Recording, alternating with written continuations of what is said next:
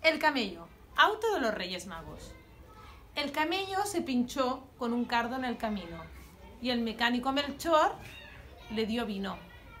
Baltasar fue a repostar más allá del quinto pino e intranquilo el gran Melchor consultaba su longino.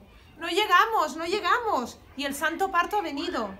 Son las doce y tres minutos y tres reyes se han perdido. El camello cojeando, más medio muerto que vivo, va espeluchando su felpa entre los troncos de olivos. Acercándose a Gaspar, Melchor le dijo al oído, Vaya birria de camello que en Oriente te han vendido. A la entrada de Belén, el camello le dio hipo. ¡Ay, qué tristeza tan grande en su belfo y en su tipo! Se iba cayendo la mirra a lo largo del camino.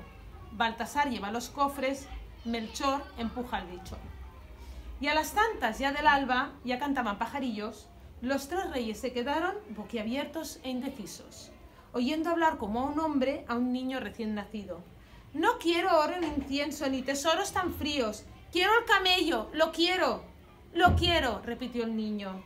A pie vuelven los tres reyes, cabizbajos y afligidos, mientras el camello echado le hace cosquillas al niño. Gloria Fuertes.